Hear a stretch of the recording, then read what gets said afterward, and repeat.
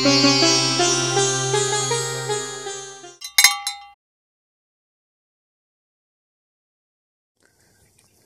just looking for the cave now. Where we're going to go and do a meditation. We've gone to an island, it's taken about an hour with the boat, and now we've come to this sort of abandoned monastery or not.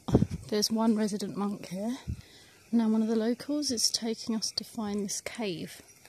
We just done a one hour, no, 30 minute meditation in the monastery just now behind us. I'm on the steps of the monastery now. It seems like a little bit abandoned here. Um, so we came to find the cave that people said we should meditate at, and uh, the caretaker told us that it was it's an 11th century cave. So the monastery is built directly in front of it, and you can see from the pictures. You basically walk in. There's a massive Buddha and then you can walk to the right or the left.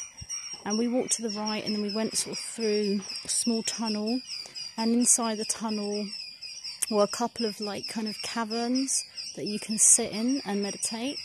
Um, and then there was an area at the very end of the cavern um, where there were two small holes, which you can see from the pictures. Um, and those holes were tunnels that were, or passageways that lead to other towns, other areas like Shan, Shan area, um, Shan state, and um, uh, different cities in Burma. So, one of the tunnels the guy said was seven days to get through. Um, you can see they're really small, they're really tight, so you'd have to be quite small to get in them. It's pitch black in there. Um, so our meditation was about 30 minutes and it went really quickly. And um, it's fascinating how quick things are when you're not distracted. Um,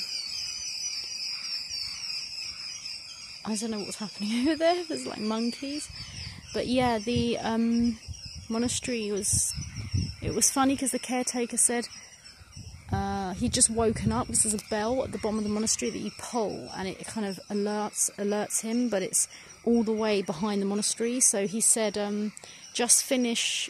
You can stay as long as you like, and just drop us the key. Drop me the key." So we've been like locking up the monastery him. Now we're just walking down and out of this very quiet place back to our boat.